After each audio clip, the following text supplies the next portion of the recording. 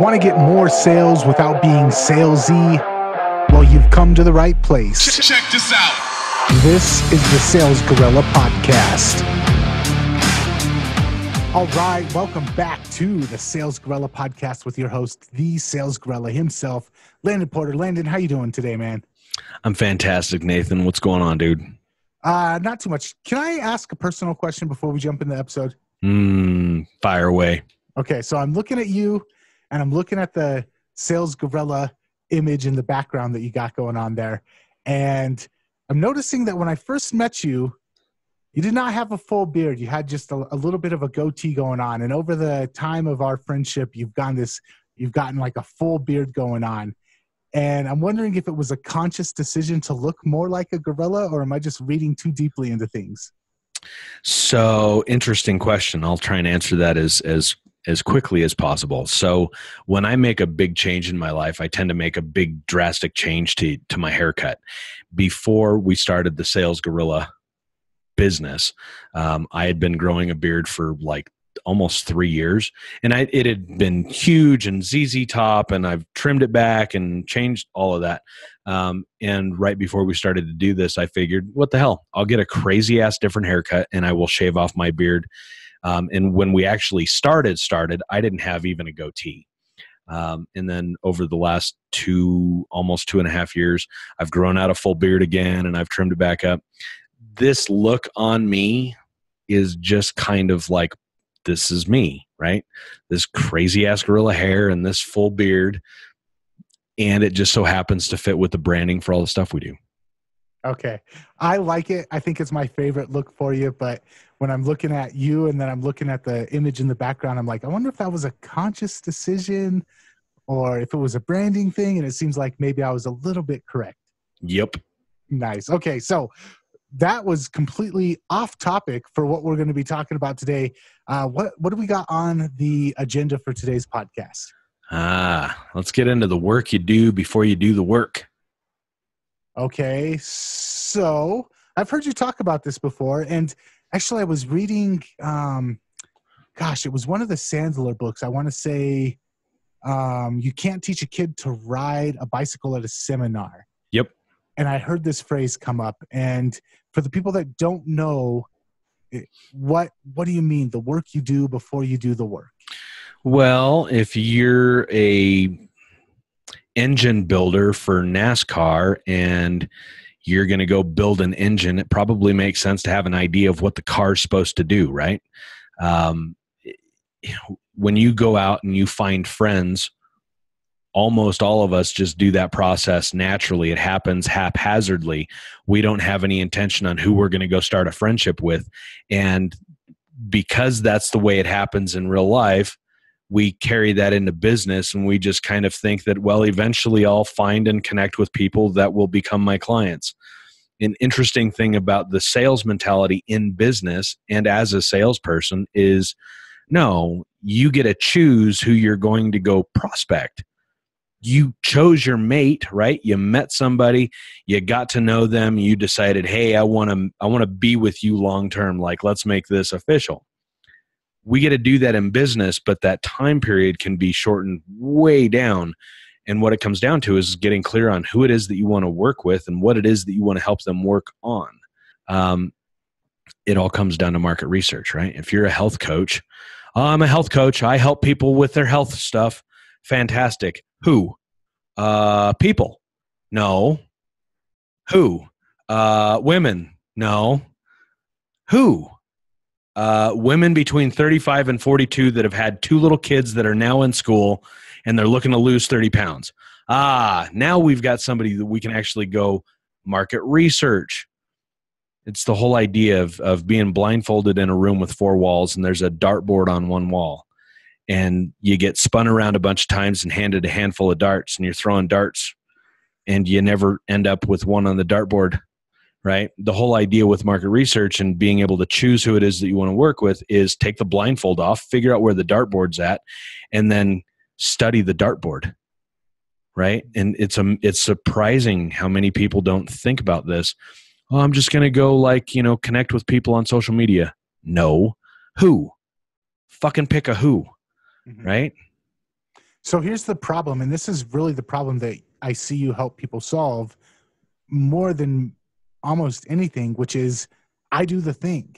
I'm not a market researcher. I'm not a marketer. I'm not a I'm not a salesperson. I'm not a uh, I'm not a person who gets on calls and has a, a pre-formatted script. I'm a plumber. I'm a health coach. I'm a massage therapist. That's the work I do. You're telling me I have to do a bunch of work before I do that work?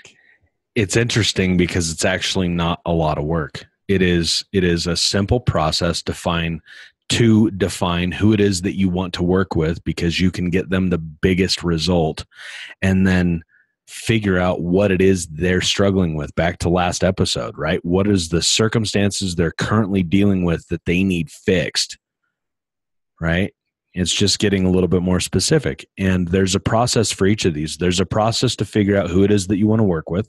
There's a process to figure out how to go find them so you can observe them and do some market research. And there is a process to initiate conversations with them. And there's a process to become the go to in front of them as that market segment. And it's actually not a whole lot of work. Okay. So there's a story i think it was abraham lincoln there's a story and a quote that he says give me six hours to chop down a tree and i'll spend the first four hours sharpening my axe and i feel like people don't understand that if they just go in swinging a dull axe they're going to waste all six hours and they're not going to be able to sharp or they're not going to be able to cut down that tree mm-hmm. but if they do the work before the work the sharpening of the axe each swing is going to be so much more effective um, I know that that's not the meaning of that analogy, but it feels like that's kind of what you're getting at. It's it's so close that it might as well be the meaning of it. Um, if you don't know what you're after, how are you going to get that? If you don't know where you're headed, how are you going to get there? Right? If you don't know who your best client is, how are you going to get them? Right? It, it's a little bit of work on the front end before you get to do the work. And this is this is the distinction between having eh clients and having amazing clients. This is the distinction between having a hard time getting clients and having clients come out of the woodwork to you is being able to define them and then go observe them so you can validate they are in fact the people you want to work with and that adjusts everything your market message, your offer, who you speak to, how you speak to them, when you speak to them, all of it. Right? If you're going to go on a road trip, it's probably a good idea if you want to get to a specific place to figure out where that is and how to get there. Just makes sense. Yeah. And I'm going to make one comparison. Before I started working with you, when I would get on sales calls with people, I had no direction. I didn't know where to start the call. I didn't know how to get the call to where I wanted it to be. I didn't have a process from, okay, let's cover this base first, this base second, this base third, and then wrap it all up with this fourth base. I had no idea how to do any of that stuff. And I was just relying on, well, somebody told you I was good at what I do, so let me see what you need me to do, and I'll explain how I do it. And hopefully, I do a good enough job of convincing you that at the end, you're going to want to hand me some money. Um, I actually recently made that mistake last week. I made that mistake on a call with somebody and it blew up in my face. And then in between the day, a day later, I had another client because, like I said, I've been going through your program. I'm getting clients coming to me a lot more frequently now. Two in one day or two in two days. I screwed the first one up. I went back and I listened to a training that you did with me on how to actually conduct a sales call. And I did the work before I did the work. Before I got on the sales call, I actually went through and I said, okay, I want the sales call to go this way. I need to do this, this, and this in order to direct the sales call. And I landed that client easy. Um, when it comes to even the even the simple things like getting on a sales call, it seems like being able to sharpen the axe, walking in there with a sharp axe, is just vitally important. Mm-hmm. Well, to each step of this client acquisition thing, there's a process. There is a specific, very set in stone, very intentionally laid out process to deliver a sales conversation. There is a very way, well laid out process to figure out who you want to get on a sales conversation with right? At every step of this client acquisition piece, there's a very simple but very specific process. And when you don't follow it, it's they go fucking sideways. It's like they're awkward. They don't happen the way you want them to. You end up on the phone with somebody. You're like, how did I get on a call with this person? Like, oh my god, right? If you go through these simple little processes, it's very easy and it's very simple, and they always go well. And yeah, I want to walk into a phone conversation with somebody that I already know beforehand, I probably want to work with. And that conversation is just a validation for it. You use the the example of Abraham Lincoln and, and the sharpening of the axe. The way I look at it is recipes, right? If I'm going to cook Thanksgiving dinner for my family, I should probably have a pretty good idea of what are the dishes that I'm going to make and what are the recipes for each dish, right? If I have that stuff all laid out beforehand, I know what ingredients I need to go get. I know how long different things are going to take. And Thanksgiving dinner shows up on the table at the right time, very well done. But if I go into that day cooking that meal and I don't know what I'm going to cook and I don't have recipes and I don't have the ingredients, what a clusterfuck. And that's how most people go through client acquisition, just it doesn't have to be that hard. Like really, it doesn't have to be that hard. True. So let's, as we're closing, I want to focus on one last aspect of this. And you've mentioned your ICA, your ideal client avatar. And we have this great tool, social media, LinkedIn, Twitter, Instagram, Facebook, whatever it is that you're using.